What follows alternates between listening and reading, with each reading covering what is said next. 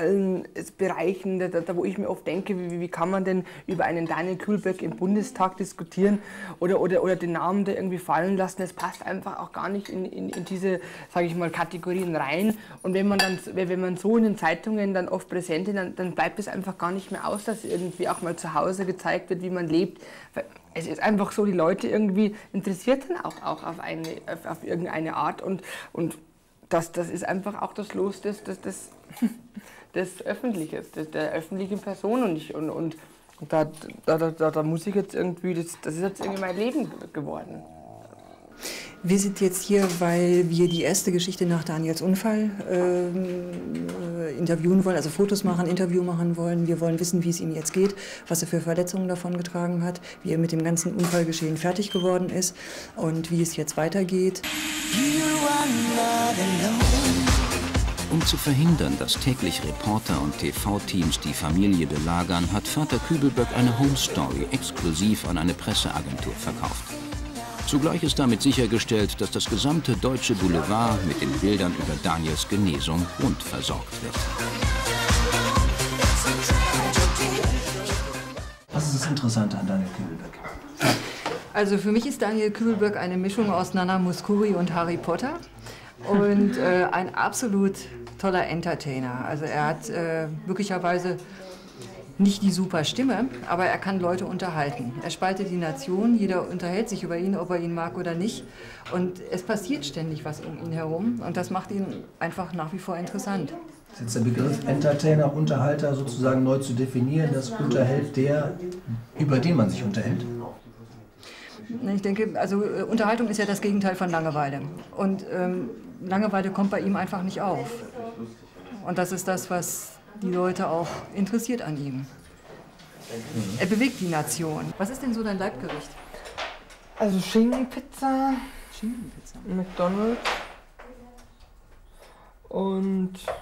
Schinkenpizza von McDonalds oder jetzt? Nein, es gibt, es gibt keine Schinkenpizza von McDonalds. Hätte ja ähm, also ein Big Mac mag ich gern. Mhm. Also ich mag eigentlich sehr ungesundes Essen. Aha. Die Boulevardkombüse offenbar auch. Warum sollte sie ihren Speiseplan ändern, wenn die Kundschaft sich bestens mit ihren Schnellgerichten verköstigen lässt? Bleibt die Frage, ob sich die Kübelböcks über die Sättigungsprozesse im Klaren sind.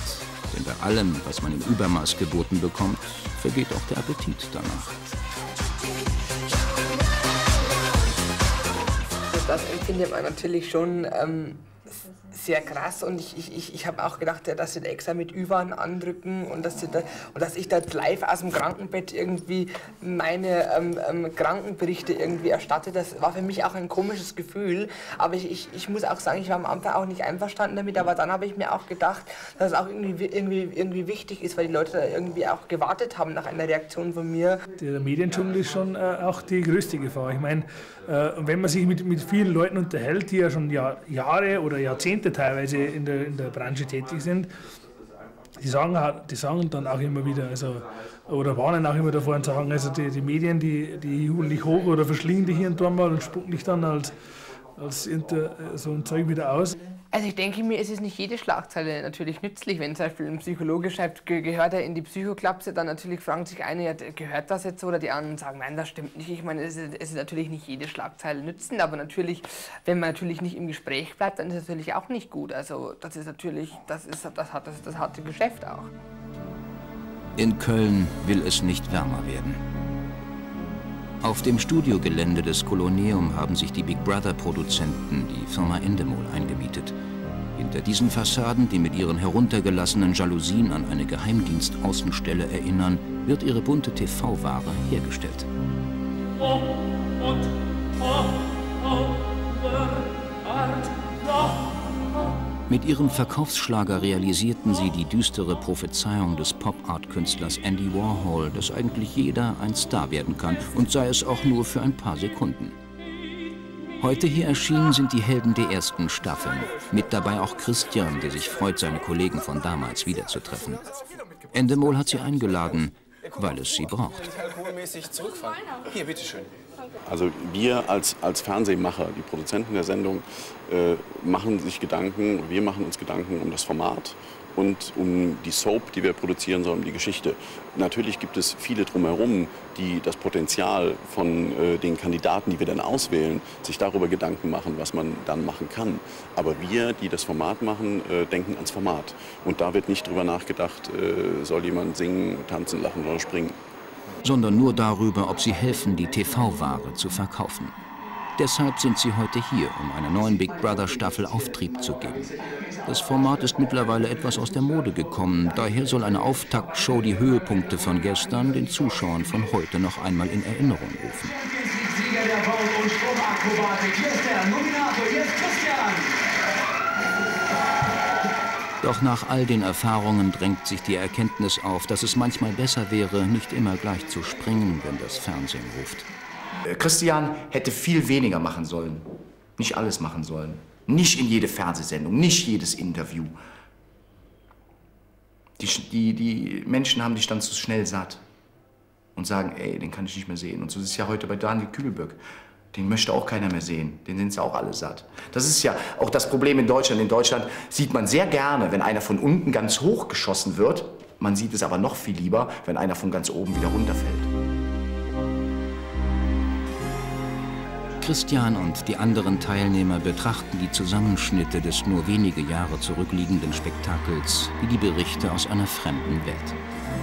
Das war der zweitschönste Tag in meinem Leben, über diese Brücke zu gehen, nach der Sie sehen sich umjubelt und spüren zugleich, dass der Applaus, die Aufmerksamkeit nicht wirklich ihnen galt, sondern nur der Rolle, die das Fernsehen für ein paar Augenblicke spendierte.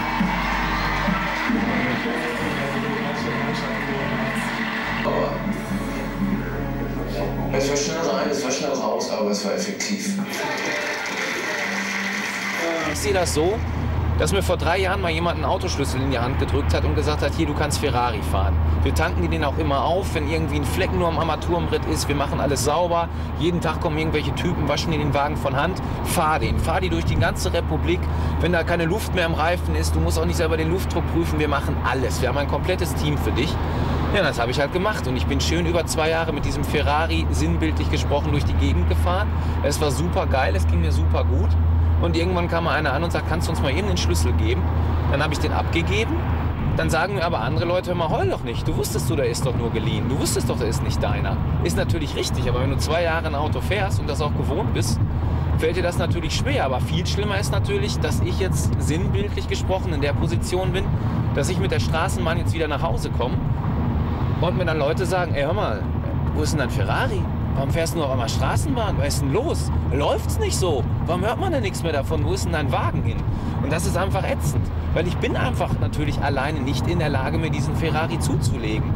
Und um das jetzt wieder auf die wirkliche Welt zurückzuholen, ich bin nicht alleine in der Lage, eine Fernsehsendung zu moderieren. Ich brauche einen Sender oder eine Produktionsfirma, die sagen, sie wollen mit mir arbeiten. Ich bin nicht alleine in der Lage, eine Platte aufzunehmen und die auf den Markt zu bringen. Ich brauche eine Plattenfirma, die sagt, wir möchten das gerne mitmachen und wir stehen dahinter.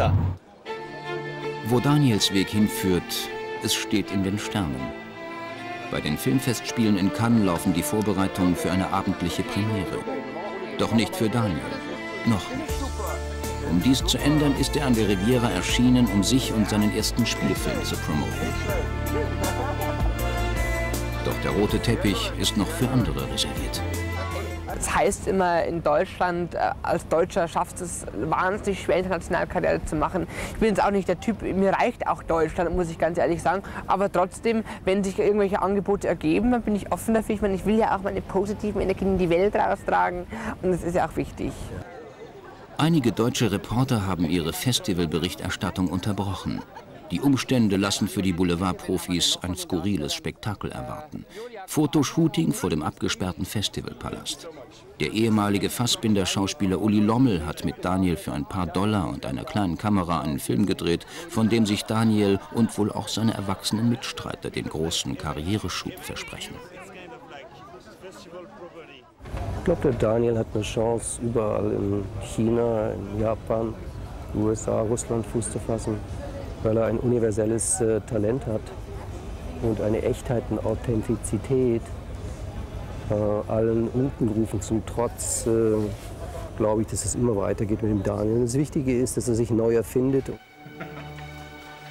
Bei Christian sind die Dinge in Bewegung gekommen. Endemols aktuelle Big Brother Staffel bereitet Probleme. Damit die Quoten besser werden, haben sie den Provokateur für eine wöchentliche Nachrichtenkolumne in die Serie geholt. Er soll über die Bewohner der Fernseh-WG spotten. Ein bewährtes Rezept, das dem fünften Aufguss etwas Würze verleihen soll. In einem Studio, wo sonst eine Kochshow hergestellt wird, präsentiert der Nominator nun wöchentlich seine News. Aber ist es ihm zu verübeln, dass er wieder am TV-Tisch sitzen möchte und auf kleiner Flamme mitköcheln will? Also ich bin ja in der Tat ein Freund der kleinen Gesten. Das meine ich jetzt auch wirklich ganz unironisch. Und beim letzten Mal, als wir hier waren, war ich ja etwas geknickt, dass ich bei Endemol nicht mal persönlich begrüßt wurde. Ha! Jetzt bin ich aber sogar schon wieder zum Sommerfest eingeladen. Und nicht nur so handschriftlich, sondern sogar auf der Einladungskarte mein Name gedruckt. Das freut mich. Und ähm, ich meine, klar, ich bin ja auch jetzt wieder an Bord. Ich bin in der monatlichen ähm, Big Brother Live-Sendung immer mit einem eigenen Format dabei, mit den Big Brother News, wo ich dann eben sehr satirisch und ironisch die gesamte Woche im Haus aufarbeite und die Bewohner auf den Arm nehme und ist natürlich für mich perfekt, weil ich kann zeigen, dass ich Schauspieler bin, dass ich Comedy-Texte selber schreibe, verfasse, die produziere und verarbeite und bin zusehends wieder in einem Format ähm, eben im Fernsehen präsent, woher mich die meisten Zuschauer kennen. Ich denke, das ist absolut der Schritt in die richtige Richtung zum letzten Zeitpunkt. Man wird sehen. Und kann man es einem 18-Jährigen verdenken, wenn er nach einem Jahr voller Verrücktheiten daran glaubt, dass alles möglich ist? In einer Welt, die ihre schnellen Helden so feiert, bis sie nicht mehr erkennen können, wo sie in Wirklichkeit stehen und welches Stück in Wahrheit gespielt wird.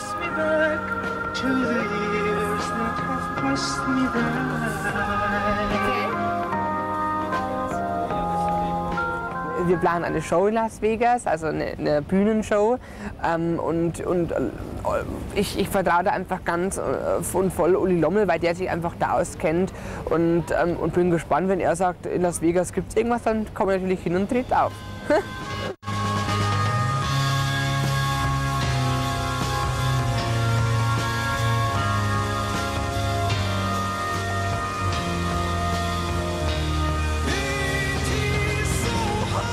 Und nächste Woche in Betrifft, Hunderttausende von Kleinanlegern wurden in den 90er Jahren überredet, Eigentumswohnungen zu erwerben. Über fünf Jahre hat ein Fernsehteam des SWR einen Fall mit mehreren tausend Anlegern intensiv beobachtet. Der größte Immobilienskandal in der bundesdeutschen Geschichte. Die Bausparfalle. Das Thema in Betrifft. Nächsten Montag, 22.30 Uhr im Südwestfernsehen. Unser drittes.